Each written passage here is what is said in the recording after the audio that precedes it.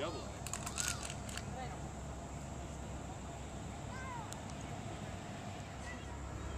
Uh, we're with Emory softball coach Penny Siqueiros. Uh, coach, it's been heating up outside here with the temperatures, and yep. as well as the softball field, we got the uh, construction of the uh, upcoming batting cages have, has begun.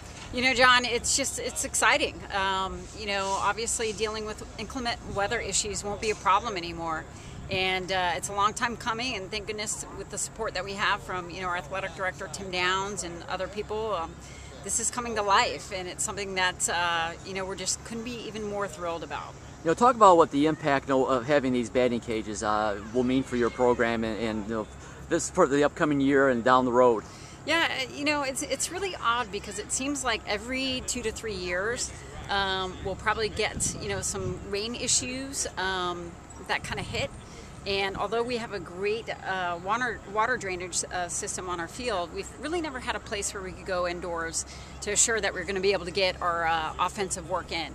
So uh, now we don't have to worry about that. It's not going to be an issue, and it's just going to be exciting to know, regardless of what the weather is like, we'll have a location where we can get our work in.